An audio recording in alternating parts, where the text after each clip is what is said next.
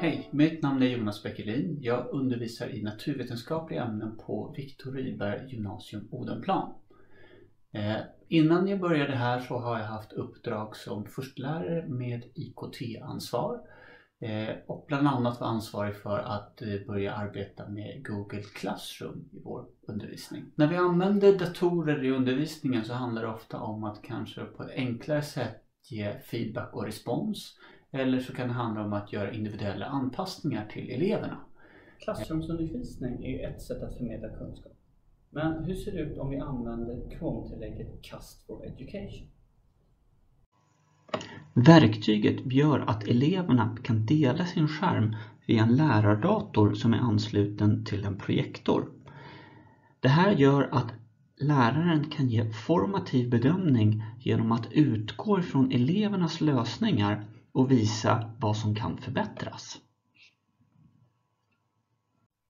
Tillägget Google Cast for Education finns tillgänglig i Chrome Web Store.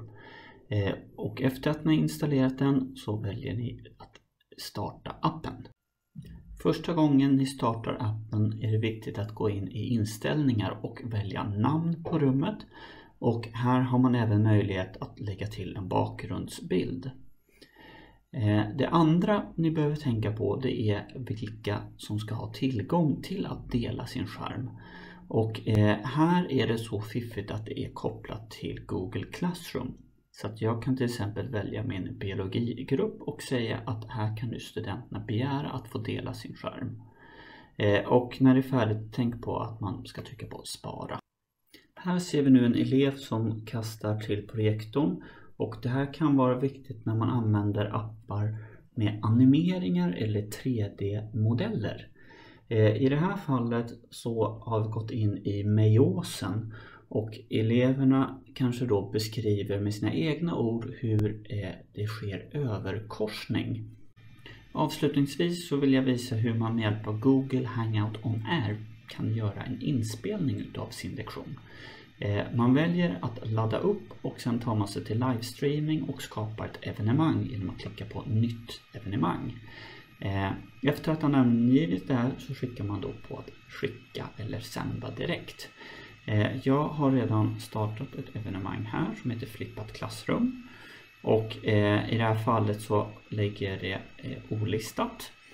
Och när jag då skickade på att sända så öppnades då Google Hangout i Google Hangout, eftersom jag använder Cast for Education, så går jag då till appfönstret och i det här fallet så ser vi nu att en elev har valt att dela det här med överkorsning i meiosen. Och eh, fortsättningsvis då så väljer jag då att starta sändning. Och när jag startar sändningen så kommer här alltså att senare bli en Youtube-inspelning.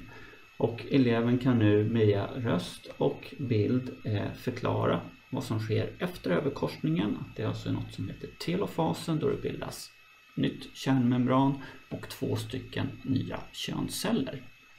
Så det var allt jag tänkte ta upp denna gång, så tack för att ni har lyssnat.